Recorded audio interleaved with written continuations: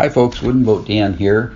Just wanted to give you a heads up. The podcast you're about to listen to was recorded several years ago, so some of the phone numbers, email addresses, website links, and time sensitive information are no longer valid. Please keep that in mind as you listen. If you'd like to contact me, my email address is woodenboatdan at gmail.com. Thank you and enjoy the podcast. Welcome to Hooked on Wooden Boats weekly podcast episode number 92.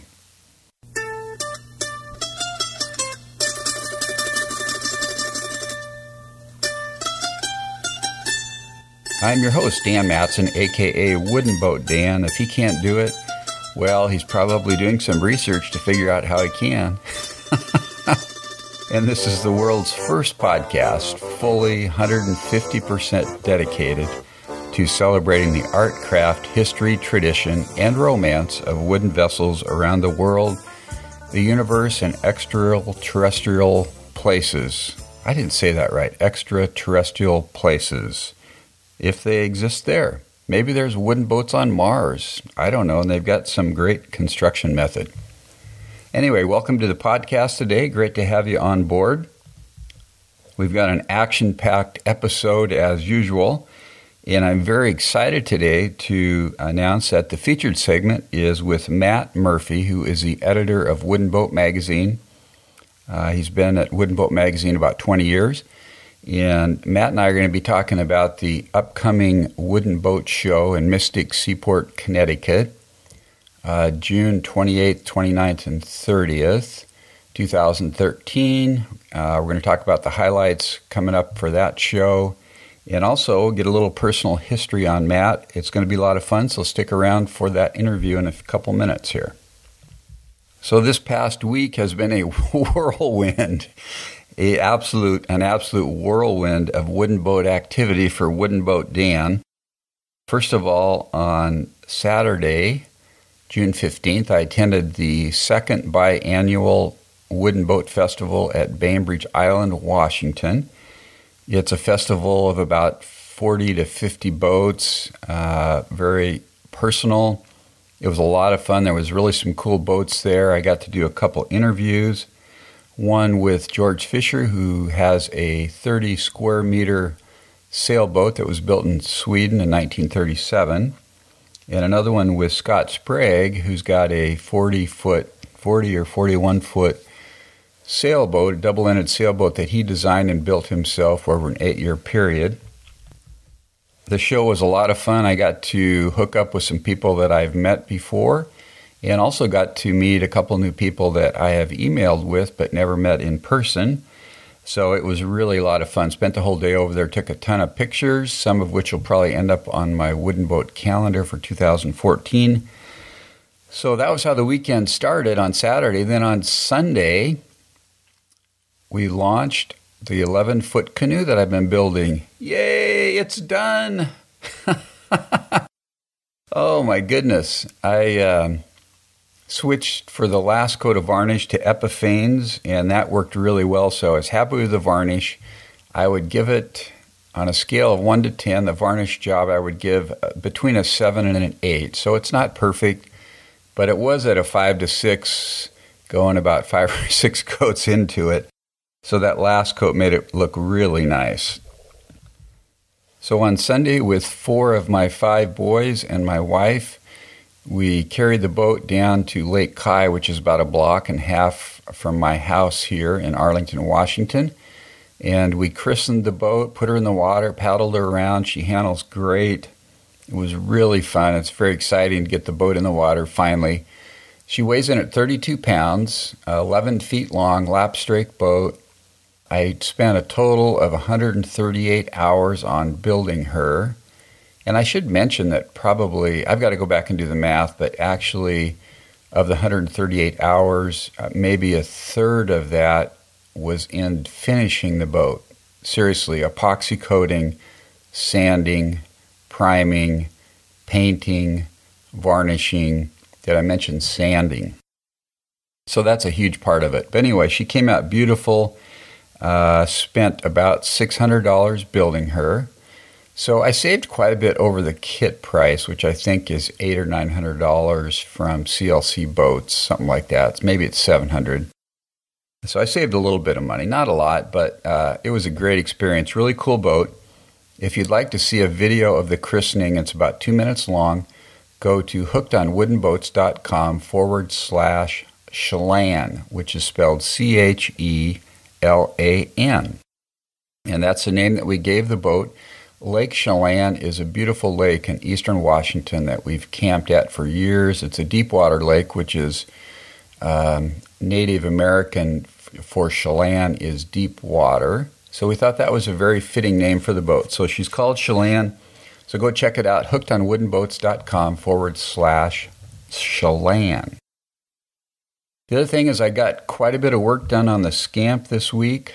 Uh, I'm working on the Scamp kit. What I'm doing is pre-coating the parts before I assemble them with three coats of epoxy. So I put the first coat on, let it cure, sand it because the first coat gets real rough. It kind of raises the grain. And then I add two more coats of epoxy after that. And if I add them about six to eight hours apart, I don't have to clean for the amine blush. So I'm working on that. I've got about 17 and a half hours into the scamp and have spent $3,481 so far. And you can track the progress I'm keeping uh, on my website if you go to hookedonwoodenboats.com forward slash scamp. I'm tracking on there my exact hours to do the build and my exact cost, and then I'm putting some tips as I go along of things that are helping to make the build a little bit easier. So I'm keeping a very detailed log, and I'm hoping this will be beneficial to other folks in the future that are going to build a scamp. That maybe they can kind of see, look at this, and say, okay, here's about how long it's going to take. Here's how much it might cost. Here's some ideas on how to make the build go smoothly. So anyway, check it out. Hookedonwoodenboats.com forward slash scamp. The other really fun thing is I love kind of recycling, finding free stuff or used stuff for cheap that I can use. So I needed 18 pounds of lead weight for the centerboard of the Scamp. And I could have bought a 25 pound bag of lead shot from Cabela's for $44.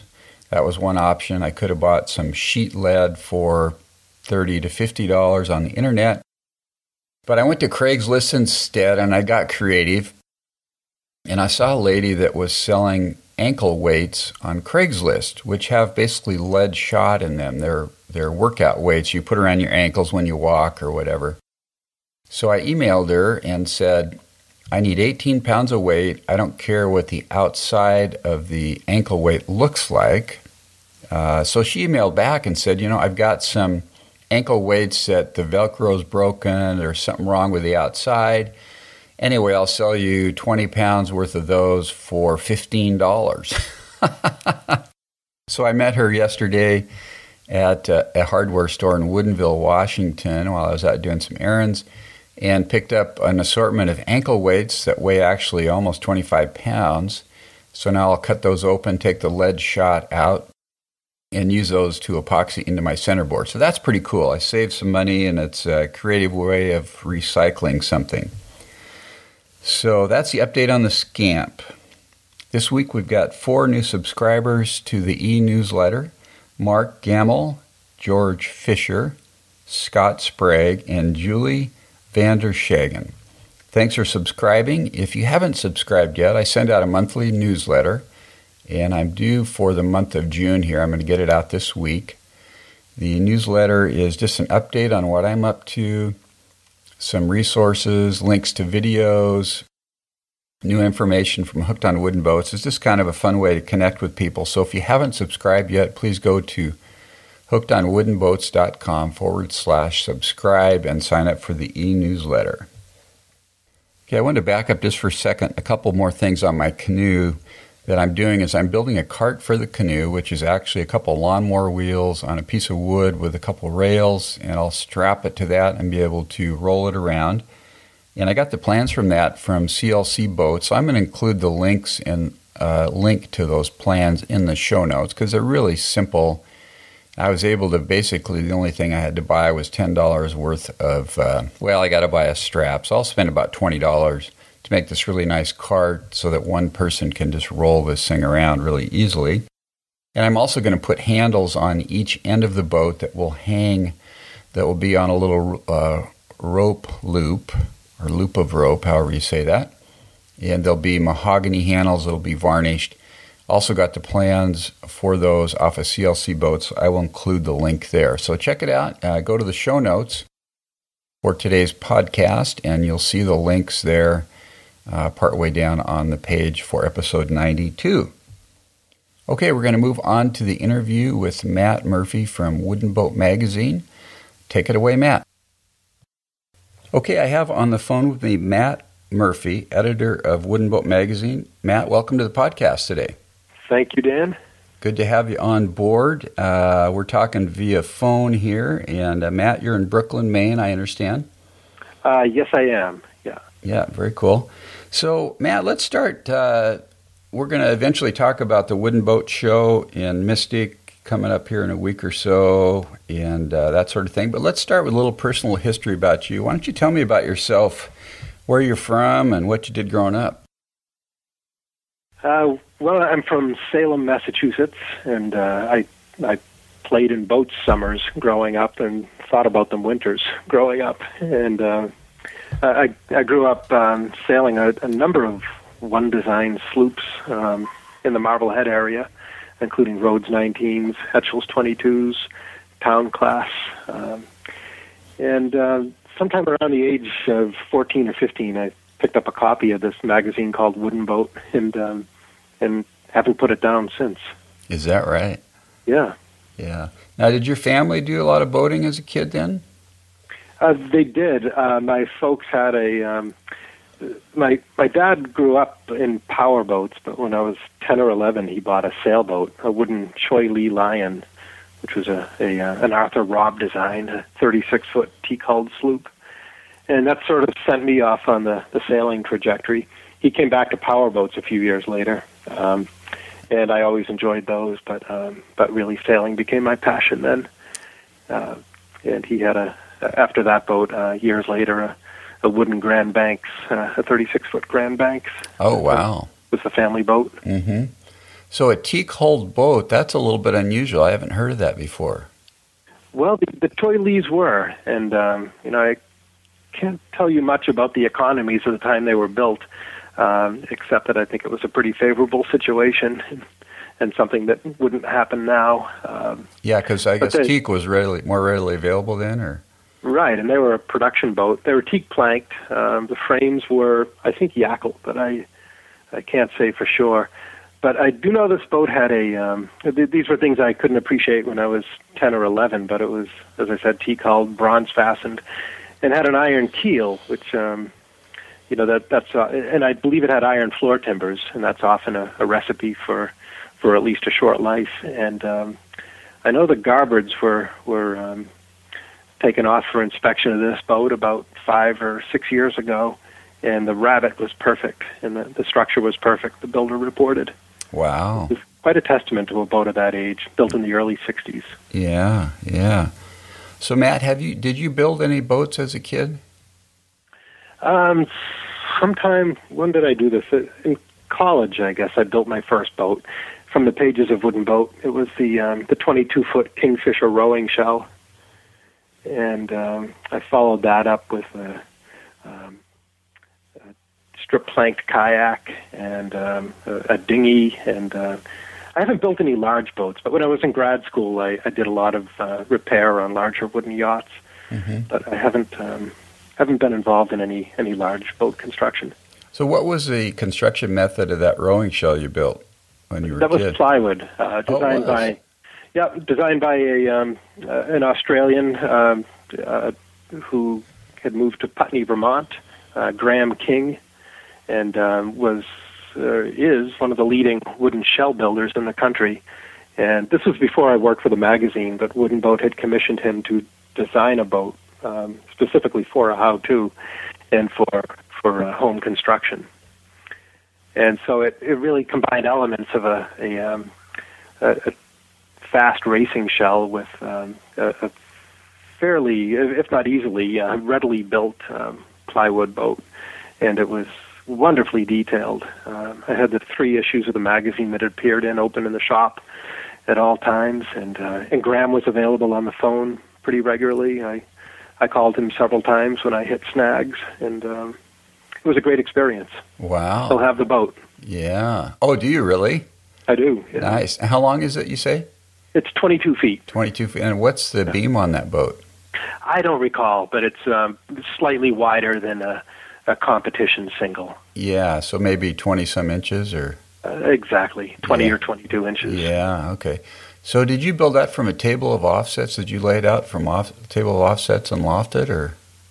Uh, no, um, the the bulkheads were uh, the uh, the forms were dimensioned in the Oh, I see. Okay. plan. Right, they weren't full size patterns, but hmm but it was built on forms and two permanent bulkheads, and, and uh, they they had accurate dimensions. Oh, okay. All right. So once you got the forms built correctly and, and spaced out, then you could just plank it from there, huh? That's right. Yeah. Cool. Very cool. So, uh, so Matt, what year did you join Wooden Boat Magazine? Ah, good question. I think it was January of '92. January of '92, and uh, we were talking beforehand, and, and you love working there. And so, I'm just curious how you got that job. Well, um, well, I began a story earlier, and uh, so I picked up the copy of the magazine when I was 15, and um, then went on to college and and um, had my sights set on on other fields, and went to grad school and studied marine policy. And as I was finishing up my master's thesis and and um, and sending out resumes, I was reading the magazine one night, and there was a classified ad for the position of associate editor at Wooden Boat. And so I um, sent my resume off and uh, got called for an interview, and we just had a wonderful conversation. And that was followed by a second interview and another wonderful conversation. And um, I've been there ever since. Wow. Now, did John Wilson hire you? He did, yeah. Yeah. Okay. Wow. Now, you didn't really have editorial experience, or did you at that point? No, I didn't have professional editorial experience. Um, my writing had been purely academic at that point. Mm-hmm. Mm-hmm. Very good. So, so the articles that are in Wooden Boat magazine, those are maybe written by other people, and you edit them. Is that kind of how the process works, Matt? Or Well, the process varies. I mean, we're Yeah. we're open to all sorts of scenarios, and we we receive many many proposals every week, every month, and and um, we we publish a number of those every year, um, and we also write a fair number of articles in house. Um, we have uh, two other staff editors. Uh, Tom Jackson is our senior editor, and Robin Jettinghoff is our assistant editor, and um, they both do a fair amount of writing for the magazine and, and contributing in other ways. yeah. So, do you do some traveling with your work there? I do, yeah, Uh huh.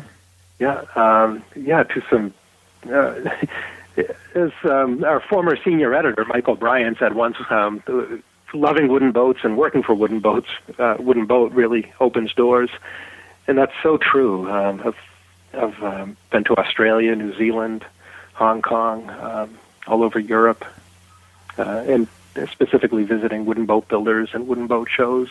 Mm-hmm. Cool. And just putting together articles for the magazine and stuff like that. Or, Uh, that's right, and looking for subjects and contributors Mhm. uh, and photographers. okay. Yeah. Now, are you doing any photography yourself? Yeah. I am, yeah. I um, uh, as um, as I can, I like to shoot for the magazine. Yeah. And, uh, Very cool. in fact, I'm just back from Michigan, where I had a, a great day shooting a, um, a, a an 18 foot launch that the, the builder had designed himself, carved from a half model, and um, and that will be coming up in the small boats edition next January.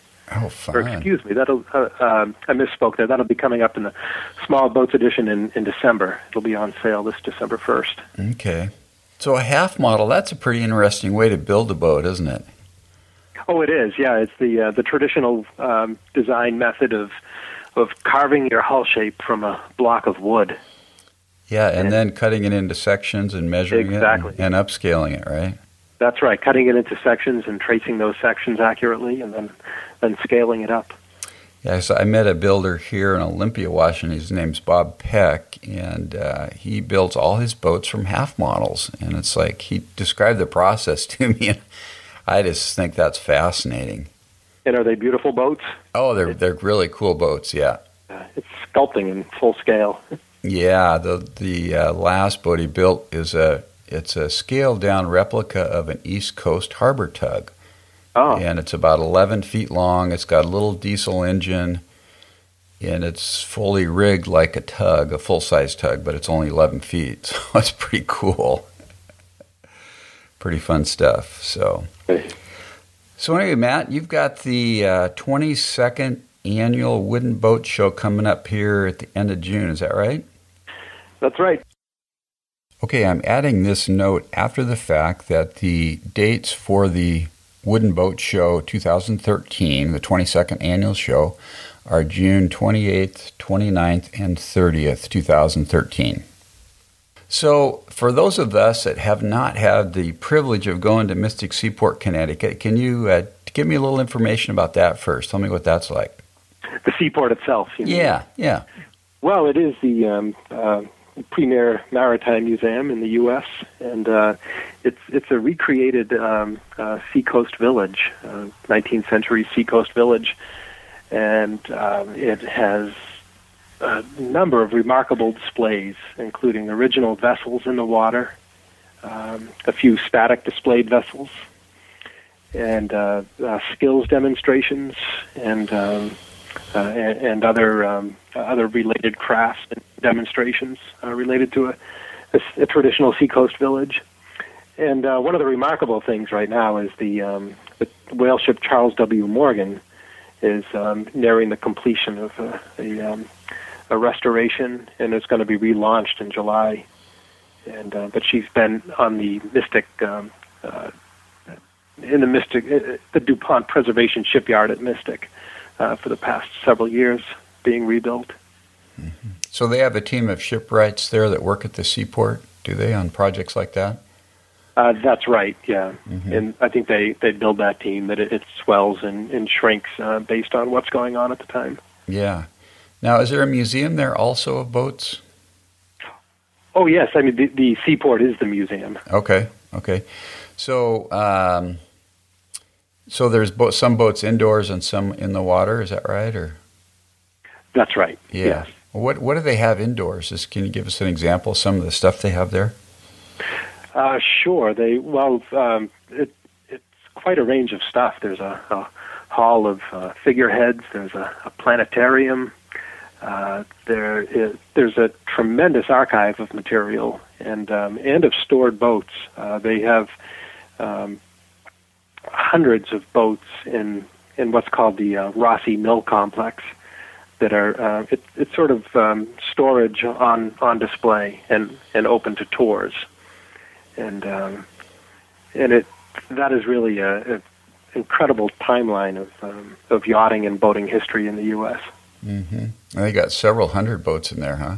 Yeah, and then on um, you know specifically to your listeners and our readers, there's um, the, there's a small boat shed that is a, a great display of um, of Herreshoff boats and um, and there are a couple of cat boats in that that shed also, and uh, it it feels sort of like a, a church-like setting, a very low light, so the um, uh, in in deference to the the um, fragile nature of the artifact, uh, but um, Oh, but also um, uh, steps so so one can stand up high and, and view into the boats and uh, and I highly recommend that uh, who whoever goes to Mystic find find that display. Anybody listening to this podcast. yeah, yeah. So, uh, Mystic Seaport itself is open to the public pretty much year round, is it, Matt? Or Uh, yes, it is. Yeah. yeah, okay, very cool. So that's basically the venue for the annual Wooden Boat Show. Is that right? that's right. Yeah. And, And uh, the Wooden Boat Show brings in um, a hundred more boats. Uh, so we we're holding this this show, the Wooden Boat Show, which had a um, a solid tradition before we started holding it at Mystic. Um, but so Mystic creates this incredible venue, extant venue of, of boats, into which we bring um, a hundred more boats, which are displayed both in the water and on land. and tents containing 140 or more vendors selling art, antiques, tools, books, and boating gear. And there's also a demonstration area that's put together by our senior editor, Tom Jackson. And that's um, three days of demonstrations and tours led by professional shipwrights. And that covers all aspects of building and repair, um, modern and, and, um, and more traditional techniques. And the theme of that this year is uh, I mentioned the, the Charles W. Morgan earlier.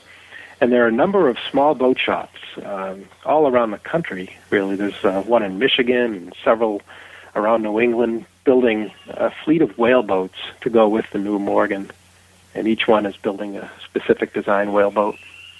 Really? So those are uh, so how how long is the Morgan? What's the length of her? Uh, that's an excellent question, and I don't have that at my fingertips. okay, over hundred feet though, right? Uh, yeah, you know, I'm I'm online right now, and I will um, I'll, I'll look it up. Is where Okay. as we're yeah. Speaking. Yeah, okay. that sounds good. And she was built in 1841, and I read that she's going to be launched July 21st. That's uh, right. Mm-hmm. After this big restoration, which has taken several years, right? It has, and the plan is um, uh, this uh, a very ambitious and I think visionary plan to um, to to sail her next summer to Stellwagen Bank and Stellwagen Bank is a, um, a well-known whale feeding ground uh, off the Massachusetts coast. Oh, really? Yeah. Interesting. Interesting.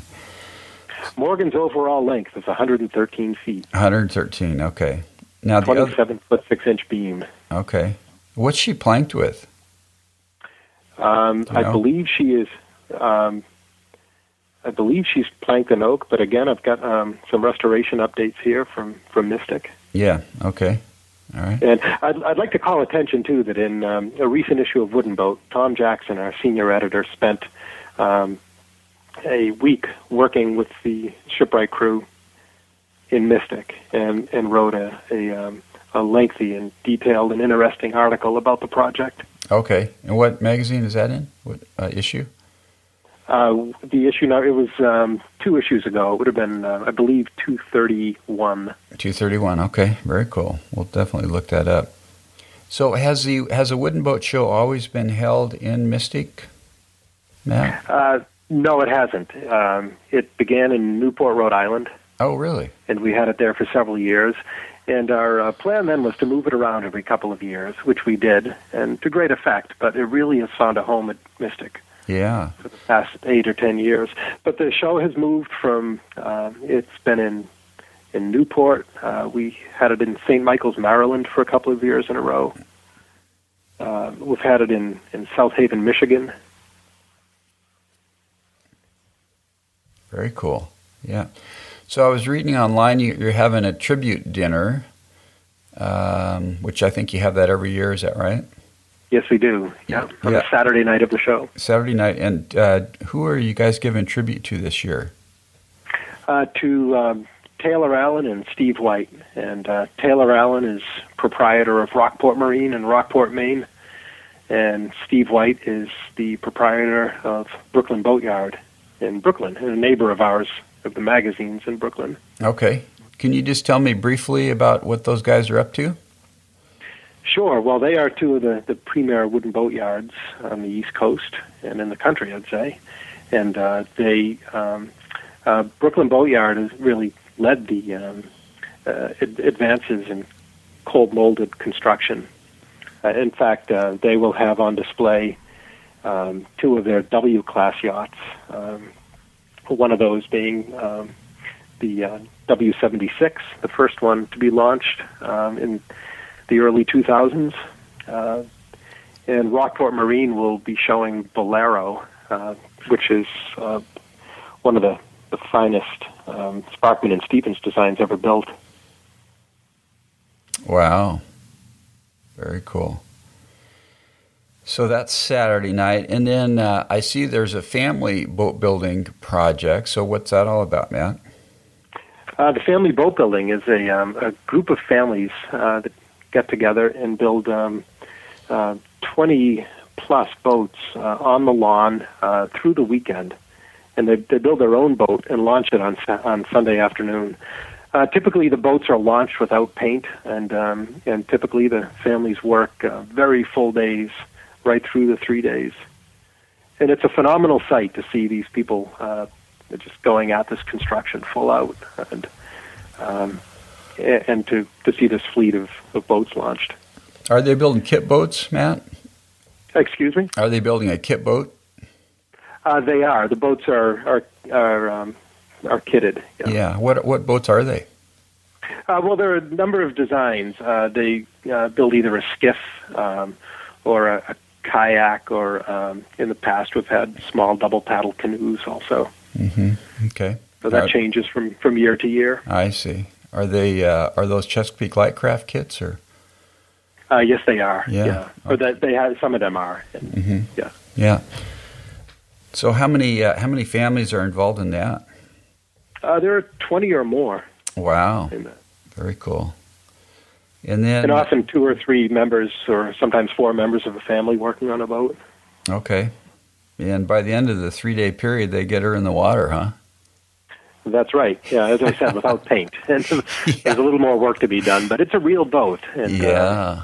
So the, there, um, in the early days, there was a, um, an event called Quick and Dirty Boat Building, and it was a great event. Um you had to build a boat to one's own design, and um, as quickly as possible, get it in the water and race it on the water, um, sometimes with tools aboard, in order to um, provide incentive for not sinking the boat. and it was a lot of fun, and there was some great skill in it. But often you would finish the weekend, and there'd be um, a dumpster full of boats.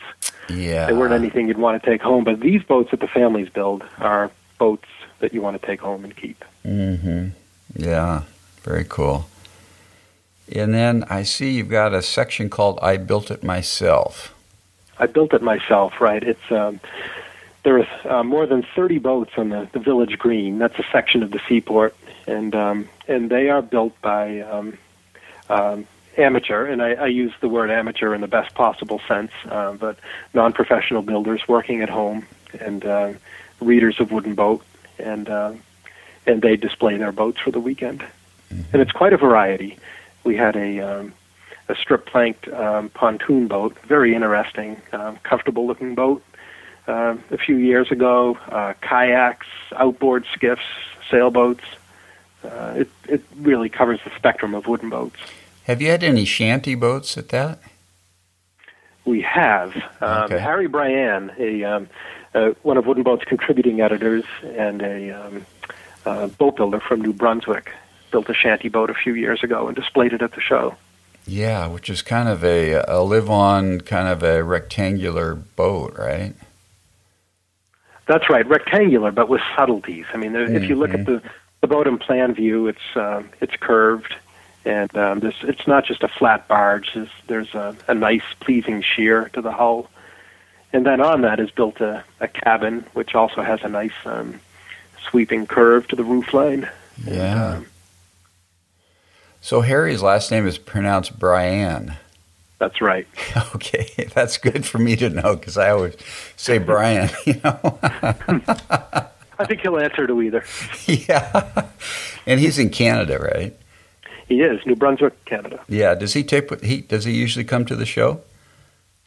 He does. Yeah, he'll be at large this year. I don't think he'll have a, a display this year, but uh, Mhm.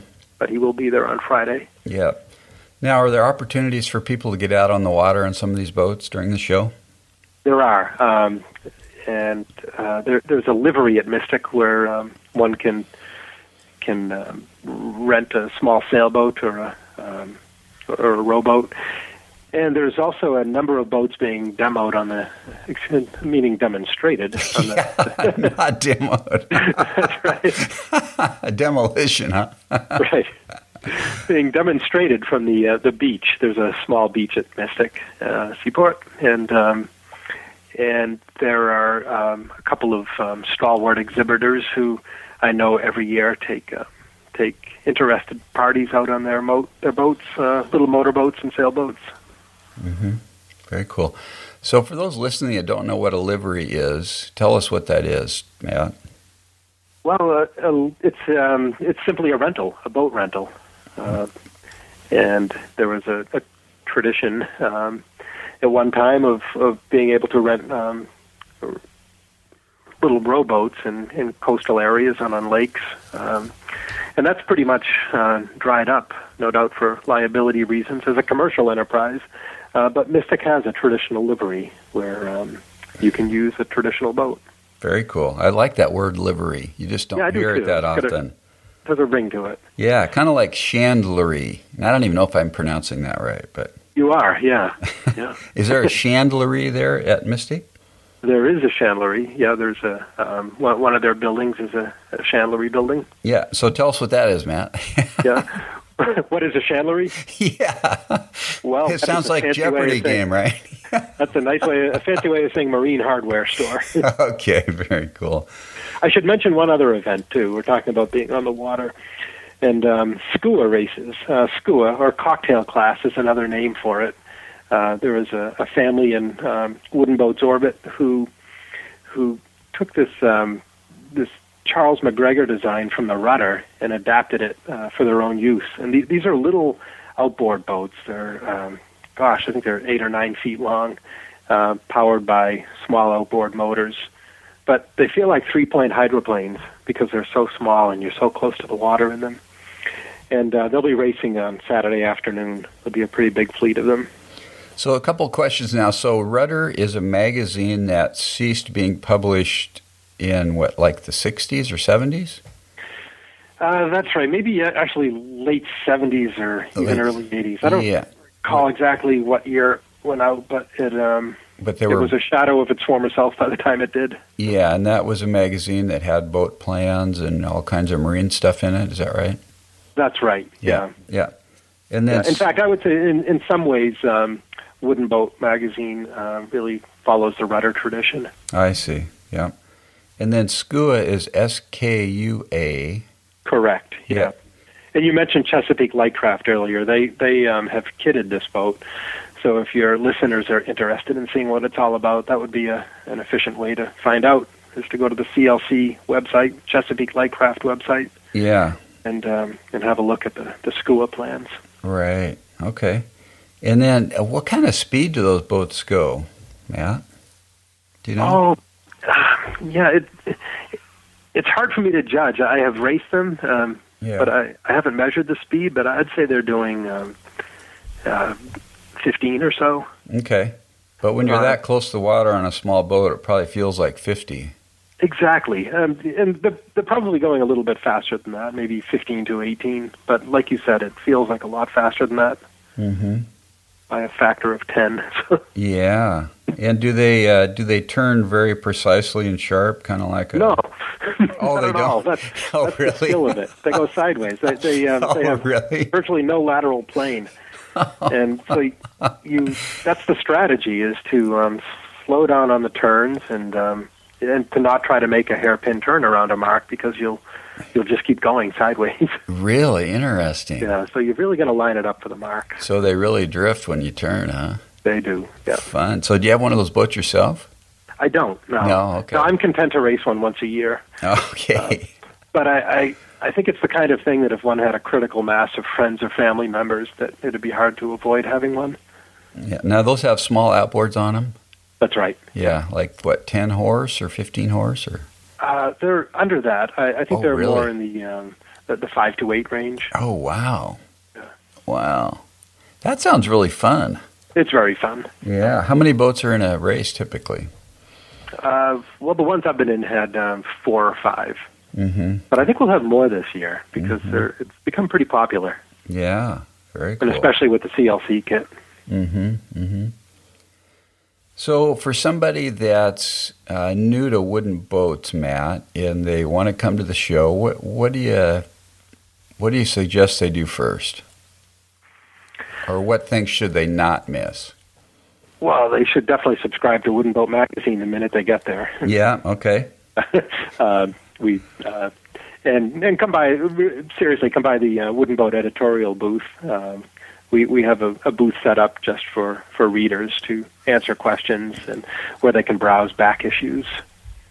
Uh, but I suppose it depends on what sort of boat that person's interested in. Uh, but there are there are all sorts of resources for beginners there. There are um, other book vendors.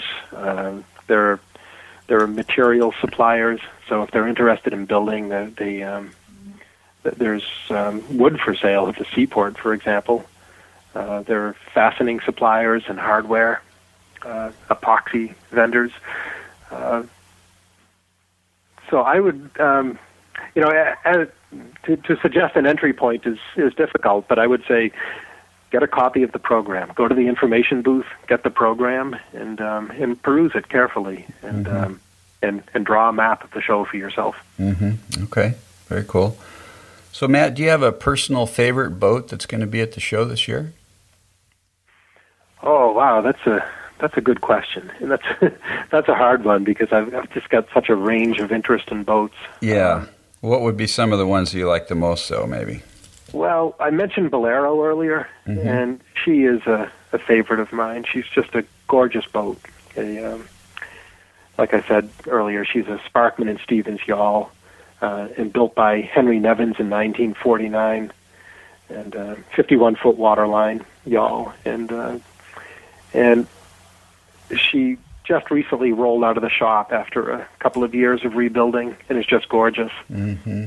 Now, a yawl has two masts. Is that right? That's right, two masts, and the aftermast is smaller mm-hmm. and stepped behind the rudder post. Mm-hmm.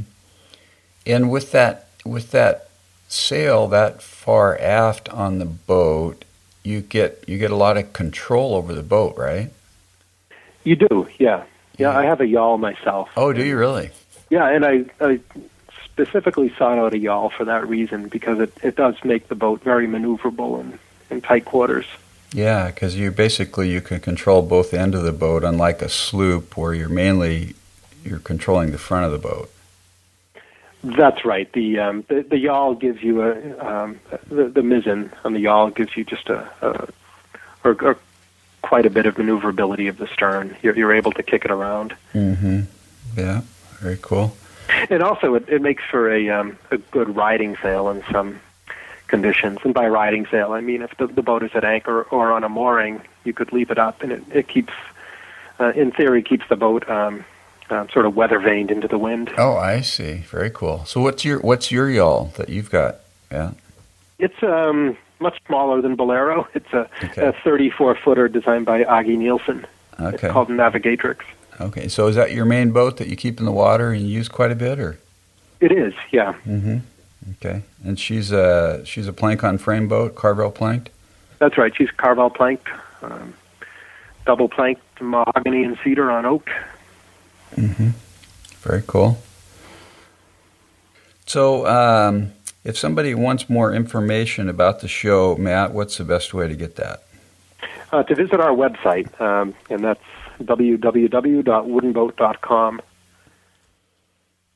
Okay, and on the home page, there's a banner there for the show, probably. Yes, there is. Yeah. Okay. What's the cost for a three-day pass, Matt? Uh, the price for a ticket is um, is uh, well. There's a. It, it depends on who you are. okay. but, yeah. Age and all that stuff. That's right. But for a um, right a, a three day ticket, um, you can purchase a three day ticket uh, at woodenboat.com, or excuse me, at thewoodenboatshow.com uh, through June 28th. And adults are 30. dollars mm-hmm. And kids um, from 6 to 17 are $15. And kids under 5 are free. And also, Mystic Seaport members get in for free. Okay, very cool. And after the 28th, uh, one can purchase tickets at the gate. Would Would you like the gate pricing too? That's sure, a little yeah. bit different from what I You've just told that. you. Yeah. Uh, senior citizens are twenty two dollars, adults twenty four dollars, and youth are fifteen. And again, that's ages six to seventeen, and kids under five are free. Okay, very cool. Yeah, and again, this is all at uh, thewoodenboatshow.com. Okay, thewoodenboatshow.com. Very cool.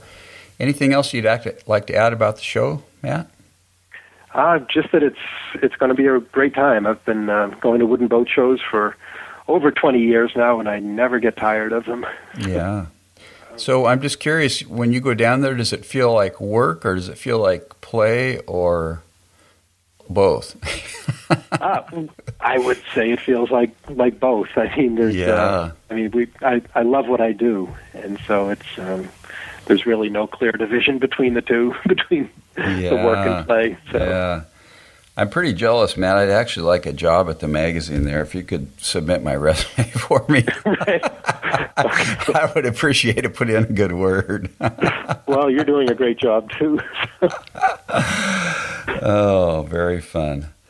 Well, I really appreciate you uh, taking the time to be on the podcast today, Matt. And um, like I said, I hope to get out there to the East Coast next year or the year after and do a big tour and go to the show in Mystic and visit Brooklin and all the places in between there. A lot of really fun stuff happening back there, it sounds like. There is, and we, we hope to see you out there. Um, come see us in the summer. It's just a beehive of activity at, at the Wooden Boat campus. The yeah. school has just started, and um, and it, it really is an interesting place. And uh, would love to have you out for a tour of the shops and, and a sale. Yeah, any other cool stuff happening at Wooden Boat Magazine these days? Uh, well, the the um, as I mentioned, the, the school itself is um, is just has a tremendously loyal following, and um, and that has just started up. And there's always something interesting happening happening there. Yeah. And how long are the courses in the school? Uh, they're one week, one uh, week, one week and two week, but typically one week. Mm-hmm. Okay. Uh, although some people will sign up for multiple courses and spend a good part of the summer there. And you probably have a lot of different topics on boat building and technique and exactly all that I kind mean, of stuff. Of, yes, um, and they range from uh, diesel engine repair. The, the uh, class is actually called "Making Friends with Your Diesel Engine," and I took that myself a few years ago, and that's um, that, that, that was really a, a great primer on uh, on diesels and, and what a, an owner should know uh, about his or her engine. Yeah um, and through to uh, fundamentals of boat building, uh, which is a, a, real solid grounding in, in traditional boat building, uh, strip planked kayak and canoe building. Uh, we even have a course in making your own bronze signal cannon. Bronze signal cannon. Wow. Yeah, in which, and this is a cannon that fires. really? And that's right. The um, yeah. the students turn their own barrels for these cannons and um, and, and do their own uh, carriage, wooden carriage for them. Fun. Very cool. So, Matt, how many boats do you personally have? Or is that a top secret question? No, that's not top secret. It's um, I'm holding the line at seven right now. Oh, really? Yeah. so I know about the all. Quickly, tell me the other six that you've got. Uh, one is a, um, a custom runabout that um, that I knew when I was ten years old, and, and uh, the boat was in Marblehead, and it was built by an old friend and his son called me for advice on. Um, he, he was just looking to um, to, to sell it uh, years ago now, and um, and we came to pretty quick terms because I'd really fallen in love with the boat as a kid. And, oh wow! Uh, and so that's a 23 foot runabout. Um, I built one of Harry Bryan's um, wheelbarrow prams several years ago. Okay, I've seen those. Yeah. And that's a great boat. We um, we live close to a rocky beach here, and um, here on the coast of Maine. And um, the only easy access is to haul a dinghy up and down the beach. So this is a perfect boat for that. Yeah, it literally works like a wheelbarrow, right? It works like a wheelbarrow. You you take out the oars and um, and slide the handles through two holes, the, the the oar loom through two holes in the transom, and then the um, the oar handles become the wheelbarrow handles. That's amazing. Yeah. um, a strip planked kayak, which is um, an Endeavor 17, and I, I built that when I was editing Ted Moore's book uh, called Kayak Craft on on building strip planked kayaks. And um, my excuse was that it was a a um, sort of live way of vetting the instructions, but I also wanted a, a nice kayak. So, mm-hmm. and Ted is a wonderful builder. Uh, has really um, raised the art of strip plank building to um, to high art, and um, and has a very refined technique, which he passed along really well in that book. Mm-hmm. Cool. Uh, another one is, shall I keep going? Yeah, um, yeah. A 10 foot Old Town dinghy, which uh, when I was a kid was in my grandfather's basement. And I think it had come with the purchase of a um, an ACF motor cruiser when um, well before I was born, in the maybe in the 50s, the early 50s, and uh, and that had just sat in his basement, and um, somehow it became uh, it, it became mine. wow. And uh, that's awaiting a new canvas, but that's, yeah, that's storage for a while. Fun. And the rowing show, which I mentioned. Yeah. Mm-hmm. What are we up to? Uh, five or six. Right. Okay. Um, oh, and I I think we're at six. Here's seven. Okay, It's okay. a um, one of Doug Hylan's beach pea uh, pea pods. It's a plywood pea pod. Uh, we have um, two boys, my wife and I, and uh, and realized we had an inadequate dinghy situation um, when when our family started growing, and this is the perfect tender for a, a family the size of ours. It's a 13 foot glued lap plywood pea pod, and by glued lap I mean that it's um, it's built from plywood that's glued together rather Mhm. than mechanically fastened with rivets or, or rivets or screws Yeah. and um, so it, it can sit out of the water for a while without drying out and opening up, Mm-hmm. Mm-hmm. Yeah. and it rose very. Excuse me. It's a traditional lap strake look. That's right, traditional lap strake look, but without frames. Yeah. Uh, so it's very easily cleaned, and it rows easily, but carries a, a really good load of people and gear. Yeah. Very cool. And that's a double-ended boat. It is, yeah. And a true double ender. Uh, the great thing about these peapods is rather than having two rowing stations, if you're rowing alone, you um, you row the boat forward. You add a passenger in the stern. You um, you shift to an after seat, turn around, and row in the other direction. Oh, really? And the boat re- maintains trim. Right. Oh, nice. Cool. Yeah, actually, I interviewed Doug here recently, and he was talking about how he learned to. I think he learned building the pea pods from uh, somebody when he was a younger person, and kind of took that and did his own design. So that's really awesome. Yeah. Doug has a great eye. And, uh, he's restoring a. Um, you asked about other interesting things in our orbit right now. Yeah. He's restoring a um, an R boat, a Hodgdon built R boat called Penobscot at the moment, Oh, wow. and I'm pretty sure that um, you can follow progress on his website, Mm-hmm. which I think is dnhighlandboats.com. Okay. Um, but just to be sure, uh, Google uh, Doug Hylan boat, and um, you'll find your way to his site. And Yeah. I think some, some great photos of that project. and Hylan is spelled H Y L A N, I think. That's right, not Highland, Yeah. but Hylan, Hylan, yeah. as you said, H Y L A N. Exactly. Well, very cool, Matt. I appreciate your time today. It's been really fun chatting. And uh, for anybody listening uh, that wants to go to the, can make it to the boat show Mystic, man, it would be awesome. Go for it. And I'm going to try to make it next year.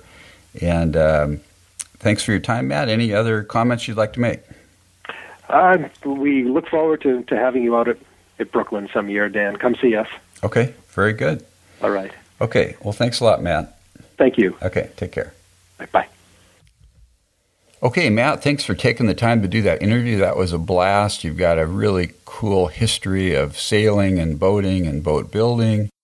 And I am really jealous that you work at Wooden Boat Magazine. In fact, did you receive my resume yet to forward on to the hiring person there? I think I'd like a job there, Matt. anyway, thanks again for doing that interview. That was really cool. I've actually got an upcoming interview I'll be playing here in the next couple weeks with Pat Lown of Wooden Boat Magazine, who's the director of the research. So you'll want to tune in again for that in a couple weeks.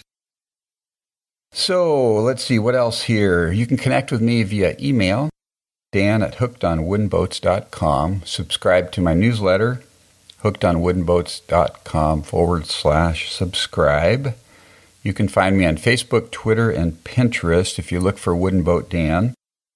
Although I just found out yesterday that I somebody had tweeted to me and I didn't respond. I don't think I have my notifications set up correctly, so I'm not a big Twitter nerd type of guy, but uh, I'm going to try to get that fixed anyway.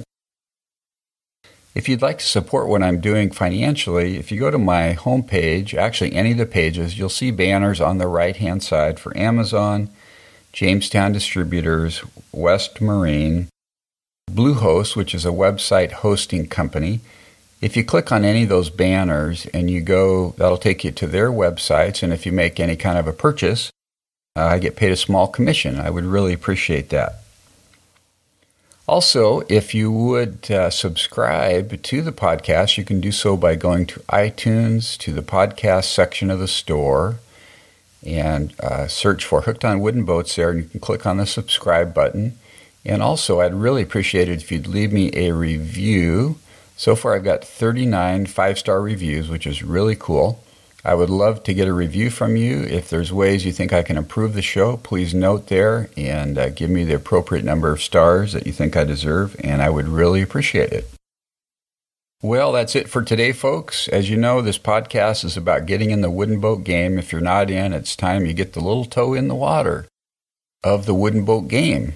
And quickest way to do that would be to get on the internet and start looking at some wooden boat sites, including Hooked on Wooden Boats, or go buy a wooden boat magazine, go build a boat, go rent a boat, borrow a boat, go buy some lumber, go to the lumber yard and buy some lumber and put it together into a boat. Have some fun with it. It's a great pastime, great community of people, and it's a very rewarding experience. So check it out when you get a chance. Have a great week, folks. Keep the bright side up and the barnacled side down. Wooden Boat Dan over and out. God bless.